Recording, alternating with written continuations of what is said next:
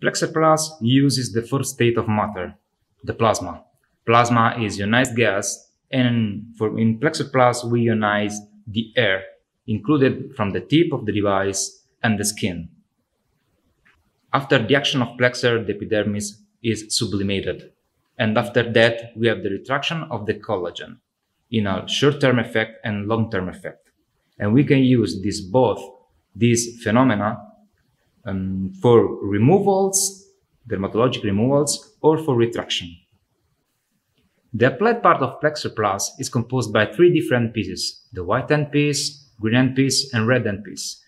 Depending on the application you want to do, the skin of the patient and the expertise of the doctor.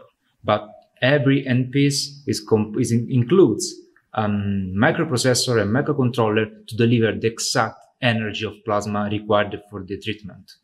This gives you absolute control in energy, precision, and accuracy. And no any other device can do something like that in the deepness. Because what is important to do during the treatment is control the deepness of the energy, not only what happens on the top of the epidermis. It means that no any other device can do something like that and showed, as Plexr Plus did, how to do that and provably on scientific with scientific data published on scientific journals.